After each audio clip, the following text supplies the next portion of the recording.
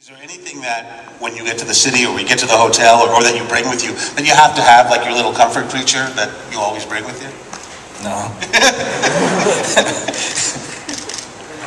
pair of jeans. That's, that's all you need. That's all you need. Uh, Guitar. well, there you go. There's your comfort creature. Uh, Backstage was concerned, I just sat in the room playing my guitar while all the dancers, the myriad of the Black Eyed Peas and Usher and that whole posse thing that goes on, um, did their thing in the next room. and and, and and your your bed, how how much was it just down to the second, and how how much room did you have if, if you had a you know a There is, there's no room for error. I mean, and they, they have a lot of people on board to make sure that nothing fucks up. And uh, they get you out there right as soon as uh, as soon as halftime starts, and you're rushed out, and then you just wait for your cue, and it goes on, and then it's done, and then you're out. It's an amazing uh, feat of uh, uh, yeah organization. are you a sports fan? Uh, well, you know, I keep up with football. I keep up with soccer a little bit. Um, basketball. You know, I'm not a huge fan. I'm not dedicated. I always wait to the end of the season. I'm too busy otherwise. You grace us with the uh, with the uh, the pleasure of playing our national anthem uh, here at a Blue Jay game. Uh, what's it like doing the anthem? Um, actually, I might be doing it again. I don't know if that's a, a secret or not. Okay, it's. I think I'm gonna do it tomorrow. Yeah, it's it's a cool melody. So so last time I did it, I did it with, with the the national the, the U.S. anthem, and we mixed them together because it was Boston and Blue Jays. So I think I'm just gonna do the Canadian one tomorrow.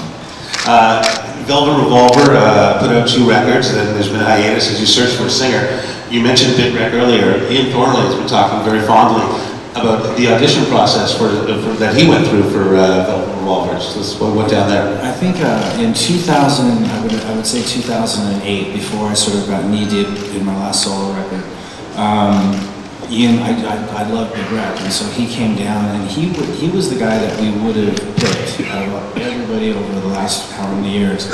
He was the one guy that was really solid, but he didn't. The, the thing was, is we didn't want him to, because we have two guitar players, so we didn't want him to play guitar, and he, he didn't feel comfortable without the guitar. So that's, you know, but he's such a great artist in his own right. He doesn't necessarily need Velvet Revolver. You know? And is the search still on for a singer? Still on. Still on for a singer. So audition tapes come up here if you brought them. Uh, I was flipping around on one of those reality TV shows. It was about little real estate ones, and there was Matt Sorum looking for a house on television in, uh, in LA, and uh, he, was supposed to come see, see one of the, these matches or something, and he calls the, the realtor and goes, "I'm in Brazil. Sorry, I can't make it." But uh, it, was, it was pretty funny watching him going house to house shop. I can imagine. Yeah. Uh, uh, and assholes. Uh, You're, you have, a- you have a, been born in England.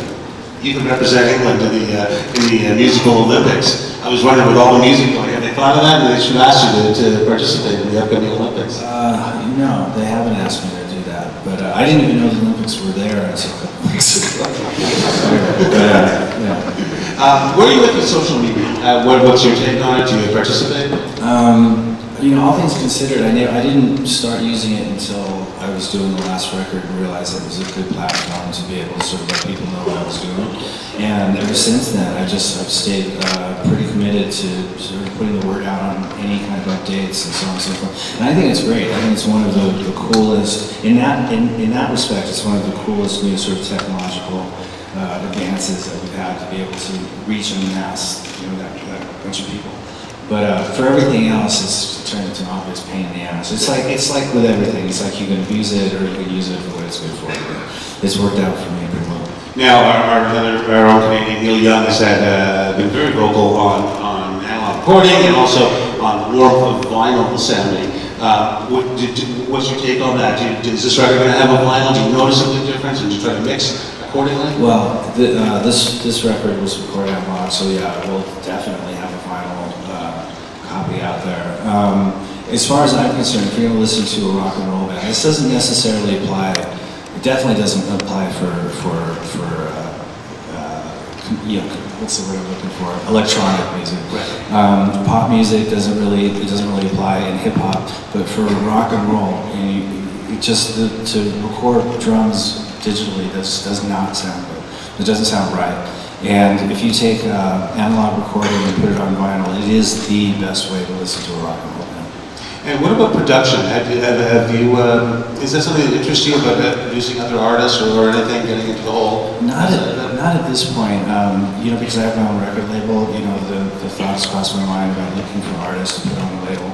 But I'm, I'm working so hard just to keep my own neck above water, so I don't even need to be bothered with trying to help everybody else or anybody else at this point. But down the line, at some, you know, some juncture, there might be something that I go, you know, I want to get behind this and, and you know, do that. How do you listen to music? What's what's your a couple different ways that you listen to music?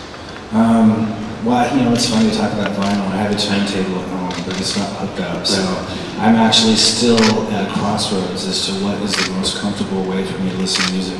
And it still turns out to be CDs in my car. And when I'm listening to mixes, I put everything just to keep it sort of protected on the iPod, and I put plug that in the car. And, you know, that. And so what, what's been what's been on the uh, passenger uh, seat of the, of the car lately with you were putting in? Um, well, the, the newest Van Halen record, um, uh, Mastodon's latest record, and, and along with that, uh, and Lamb of God as well. But that that will definitely get you in an accident. Yeah. It's just it's not it's not healthy. It's great driving music, but it's not healthy. It's like drive to endanger music. Um, yeah, that's that's been the latest new releases. Always Uh, the new Megadeth. Yeah. Hands attended. Yeah. Uh, you know, coming up next month, uh, as it's been well documented everywhere, and you've spoken out this week about, about your appreciation for being inducted into the Rock and Roll Hall of Fame, but it, you took the words, well, me, Meatloaf, you took the words right out of my mouth when you said it's more about something the people who aren't there, and ju- just touch on uh, the Canadian band Rush that you, you talked about, saying how, how could there be an induction ceremony without, without them? I mean, the, the, the, the list of people that you don't even stop to think about, because I don't, I don't know how many people actually go online and look at all the people that have been inducted, but the list of people that haven't even been nominated is mind-blowing. So, you know, Rush, and my, my real, the big one for me is Deep Purple. All right, I mean, how could you not induct Deep Purple? But there's so many bands that, that came out that have had such a huge influence on music and have had such great success as well. Yeah, it just, there's something wrong about that. And that's, that's I, I'm not the only person that's miffed about it. Yeah, and, it's, and music is such a subjective thing, and, and so, so many people's contributions maybe didn't get the same attention media or anything, they're so vital into the, the history of music we call rock and roll. Yeah, I mean, you, you- get the feeling that's a little bit of a biased thing, but I mean, one person's judgment, you know, like saying, uh, one person's opinion doesn't necessarily uh, uh, mean the opinion of, of all the fans who really were moved by a particular band for how many years. And, Well, I think I can speak on behalf of everybody that regardless of the criteria and all the, all the ins and outs that aren't there, uh, you, you belong there for, for your contributions and all the different bands and as iconic guitarist. So regardless of everything else, congratulations on the honor. uh, well, thank you very much. I appreciate it.